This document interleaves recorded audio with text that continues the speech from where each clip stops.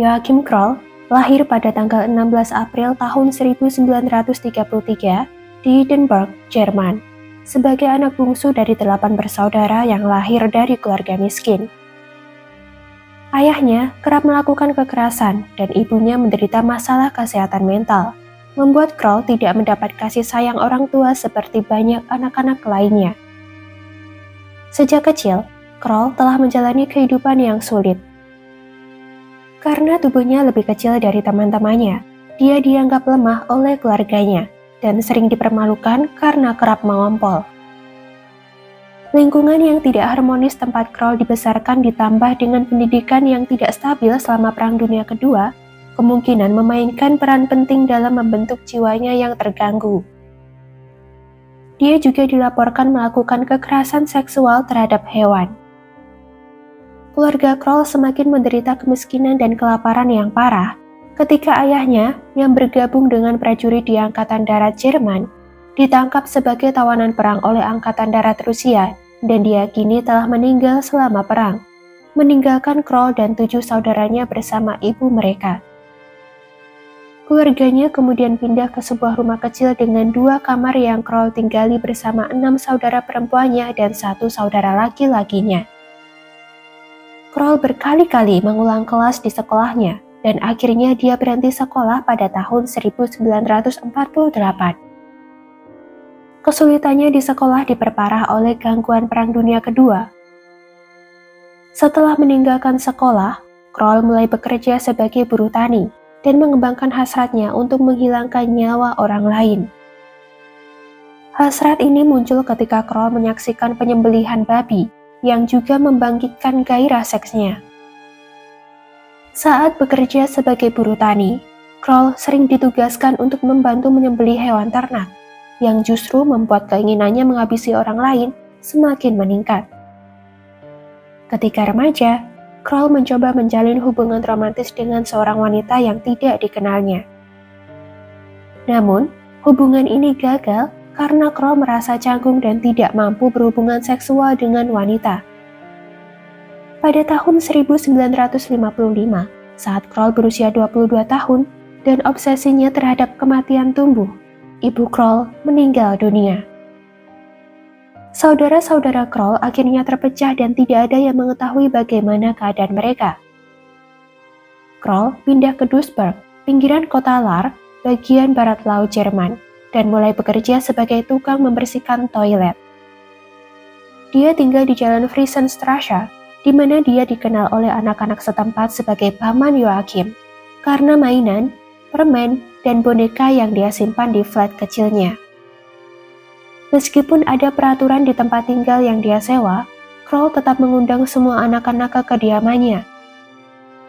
Dia merasa bahwa anak-anak adalah teman-teman sejatinya.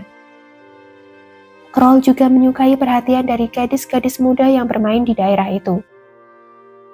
Selama bertahun-tahun, Kroll memanjakan anak-anak di lingkungannya dengan makanan ringan dan hadiah-hadiah kecil. Orang tua dari anak-anak tersebut mengingat Kroll sebagai pria yang menyenangkan dan penuh perhatian, yang tampaknya sangat ingin memiliki keluarga sendiri. Namun, tidak ada yang mengetahui jika Kroll adalah predator mengerikan. Pada tanggal 8 Februari tahun 1955, Kroll pergi ke desa Wallstadt, di mana dia menangkap dan menghabisi seorang gadis bernama Remgard Strel yang berusia 19 tahun. Strel adalah gadis berambut pirang dan merupakan seorang pelarian dari sebuah rumah di Niedersachsen. Dia mengenakan pakaian serba hijau, sepatu, mantel, selendang, dan buku pada hari itu. Kroll bertemu dengan Strel di jalan, kemudian segera mengajaknya berjalan-jalan di hutan. Setelah sekitar 120 meter mereka berjalan, Kroll mencoba menciumnya, tetapi Strel menolak. Kroll yang marah kemudian menusuknya sebanyak empat kali di bagian leher. Setelah itu, Kroll mencekik dan menikmati tubuh Strel yang telah tidak bernyawa. Tidak berhenti di sana, Kroll membelah perut Strel seperti menyembeli babi. Tubuh Strel ditemukan lima hari kemudian di tengah semak-semak yang tertutup salju di tepi jalan menuju Herenstein. Tidak ada memar di bagian alat vital dan tidak ada luka yang menunjukkan pertahanan. Sejumlah besar sperma ditemukan di alat vital serta di perutnya dan tersebar di rambut kemaluannya. Hal ini membuat polisi menduga jika pelaku lebih dari satu orang. Setelah berhasil menghabisi seseorang untuk pertama kalinya, Kroll tidak mencari korban hingga empat tahun kemudian. Korban keduanya adalah Clara Frida Tessemer, yang berusia 24 tahun. Pada 16 Juni tahun 1959, Kroll bertemu dengan Frida di dekat jembatan Grafsby di atas sungai Rhine, di Rheinhausen. Kroll tiba-tiba memegang lengan Frida, yang membuat Frida seketika bereaksi buruk. Kroll yang tidak menyukai bagaimana Frida bereaksi, kemudian memukul kepalanya. Mereka berdua berguling di sisi jalan ketika Kroll berusaha melucuti pakaian Frida, dan dalam perkelahian itu, Kroll mencekik Frida hingga tidak bernyawa. Ini adalah pertama kalinya Kroll melakukan tindakan yang akan menjadi ciri khasnya. Kroll mengambil potongan daging Frida pada bagian pantat dan pahanya. Dia membungkus potongan tersebut dan membawanya pulang untuk dimasak sebagai menu makan malam. Tubuh Frida yang tanpa busana ditemukan keesokan harinya oleh lima anak laki-laki yang bersepeda. Seorang pria bernama Hunter Kay ditangkap karena dia adalah orang terakhir yang terlihat bersama Frida di sebuah kedai Duisburg. Karena tidak dapat memberikan alasan yang kuat, Gunter akhirnya dipenjara. Enam bulan kemudian, penyelidikan terakhir diadakan dan Gunter terbukti tidak bersalah seorang pria lokal di Rhine bernama Heinrich Hoth ditangkap atas kasus Frida. Namun dia mengakhiri hidupnya sendiri ketika menunggu jadwal persidangannya. Manuela Not adalah gadis berusia 16 tahun dan merupakan korban ketiga Kroll. Manuela dihabisi pada hari Minggu tanggal 26 Juli tahun 1956 di hutan kota Essen, Praideni. Tubuhnya yang tanpa busana ditemukan di semak-semak. Setelah dilakukan otopsi, diketahui jika Manuela telah dicekik sebelum pelaku memuaskan nafsunya kepada tubuh Manuela. Tidak ada goresan atau memar di organ intimnya, namun daging pantat dan pahanya telah diambil. Kroll tidak hanya memuaskan nafsunya di organ intim Manuela, tetapi juga di wajah dan rambutnya. Polisi kembali menduga jika pelaku lebih dari satu orang. Barbara Bruder, 12 tahun, menjadi korban selanjutnya yang dihabisi pada tanggal 3 September tahun 1962. Barbara sedang dalam perjalanan ke taman bermain di Lutzenkirchen, namun dia tidak pernah sampai di sana. Kemungkinan Barbara mengambil jalan pintas melalui hutan di Gross Hamburg dan bertemu Kroll di sana telah dilakukan pencarian menyeluruh, namun tubuh Barbara tidak pernah ditemukan. Pada tanggal 23 April tahun 1962, Petra Gysi yang berusia 13 tahun mengunjungi sebuah pekan raya dengan seorang temannya. Sayangnya, Petra bertemu dengan Kroll yang membujuknya untuk ikut dengannya. Kroll menculiknya dan membawanya ke hutan di luar kota di Dinslaken Brockhausen utara Duisburg. Kroll merobek gaun merah yang digunakan Petra, menikmati tubuhnya, kemudian mencekiknya. Kroll juga memotong daging kedua pantatnya, serta memotong lengan kiri dan tangannya untuk dimasak. Tubuh Petra ditemukan keesokan harinya di antara semak belukar. Polisi mencurigai dan menangkap pelaku kejahatan seksual kepada anak di bawah umur, Vincent Kien. Vincent dijatuhi hukuman 12 tahun penjara dan menjalani perawatan psikiatris. Dia dibebaskan 6 tahun kemudian. Pada tanggal 11 Juni tahun 1962, Monica Tevel yang berusia 13 tahun pergi ke sekolah dengan berjalan kaki seperti biasanya. Dalam perjalanannya ke sekolah, Monica bertemu dengan Kroll yang segera menyeretnya ke ladang gandum. Seperti korbannya yang lain, Monica dicekik dan dilecehkan. Kroll tidak lupa untuk memotong daging pada bagian pantat dan paha belakang Monica. Walter Quicker, mantan anggota Legion, ditangkap berdasarkan petunjuk dari saksi. Dia sebenarnya telah dilepaskan karena kurangnya bukti, namun tetangganya terus menuntut dan istrinya menceraikannya. Anak-anak muda di lingkungannya terus mengajaknya, dan toko-toko lokal menolak untuk melayaninya. Pada tanggal 5 Oktober tahun 1962, Walter pergi ke hutan di luar kota dan menghabisi dirinya sendiri. Herman Smets yang berusia 25 tahun mungkin menjadi korban pria pertama Kroll. Herman dihabisi pada tanggal 22 Agustus tahun 1965 di Grossenbaum, Duisburg. Alasan Kroll menghabisi Herman adalah karena dia melihat Herman berhubungan intim dengan kekasihnya di mobil Volkswagen mereka. Kroll kemudian menusuk ban mobil tersebut yang membuat Herman keluar dari mobilnya. Di saat itulah, Kroll menusuk jantung Herman sebanyak dua kali, yang membuat Herman tewas seketika. Ursula Rohling, gadis berusia 20 tahun dan berambut pendek, sedang berjalan-jalan dengan kekasihnya pada hari Selasa tanggal 12 September tahun 1966. Ketika pukul 7 malam, Ursula pulang sendirian melalui Taman Forester Bush di Mar. Kroll yang melihatnya segera mendekatinya, berbicara dengannya, dan memegang lehernya dengan lengan kanan Kroll. Kroll menyeretnya ke semak-semak dan melemparkannya ke tanah di mana Kroll mencekiknya sampai Ursula berhenti bergerak.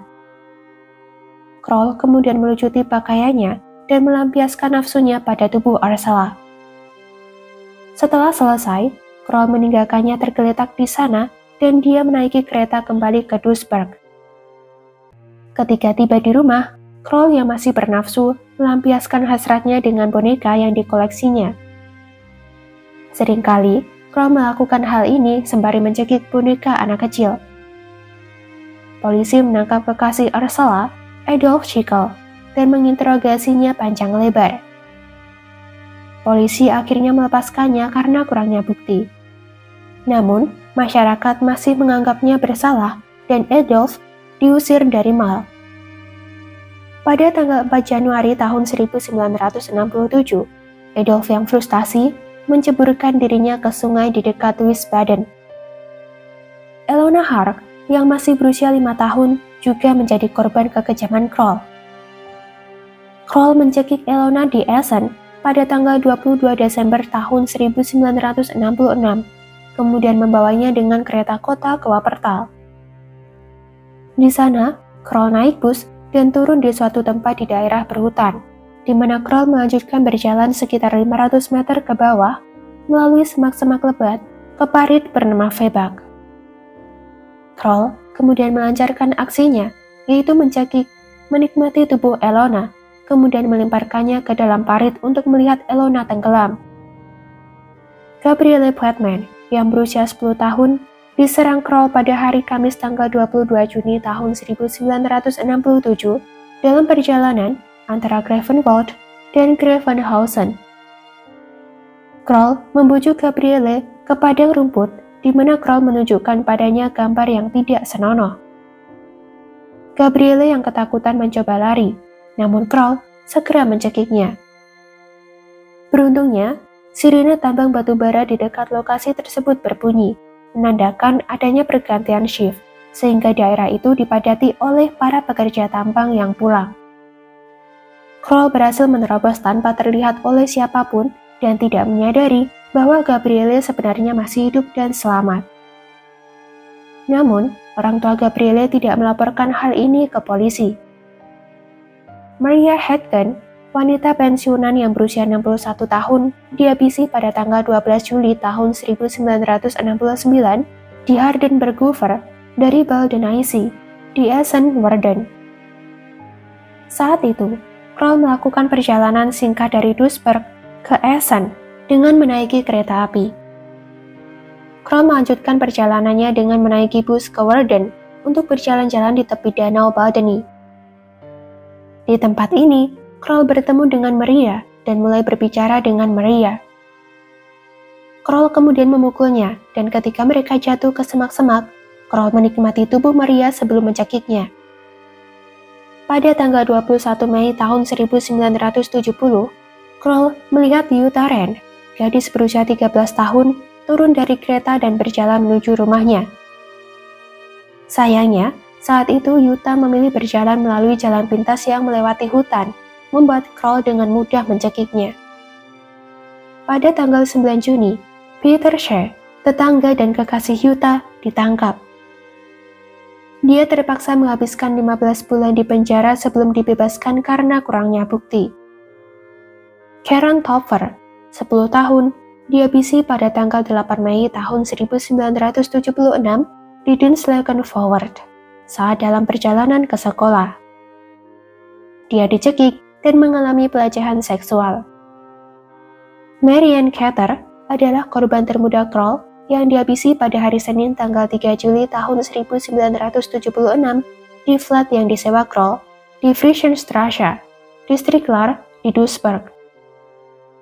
Pada saat kejadian tersebut, Marian masih berusia 4 tahun.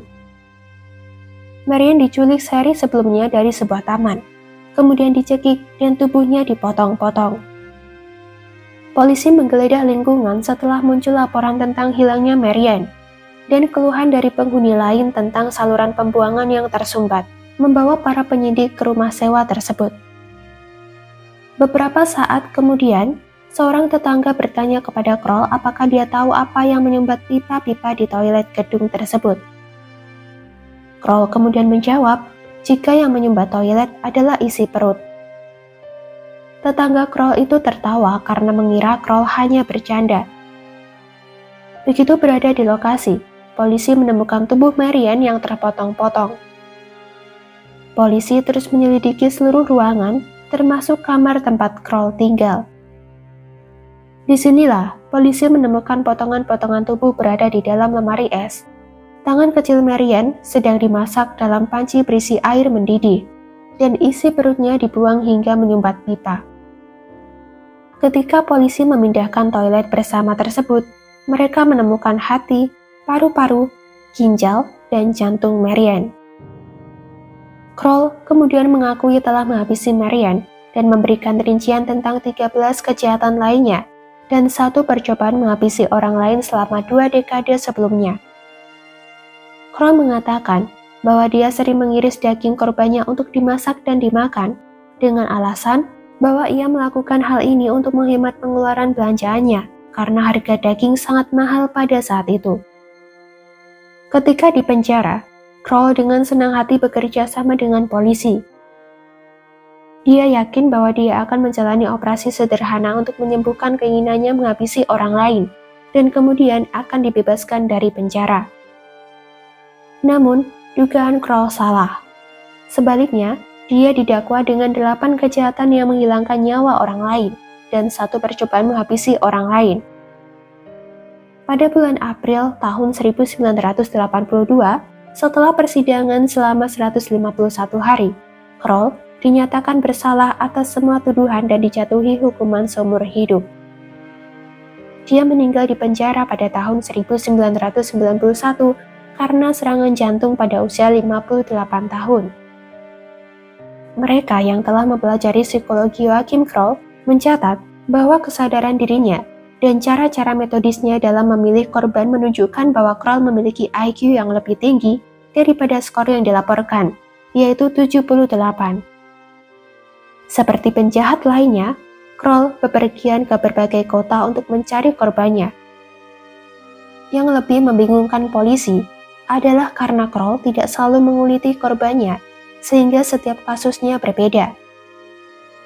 Kroll lebih suka mengambil potongan-potongan daging hanya dari korban yang menurutnya sangat muda dan lemah.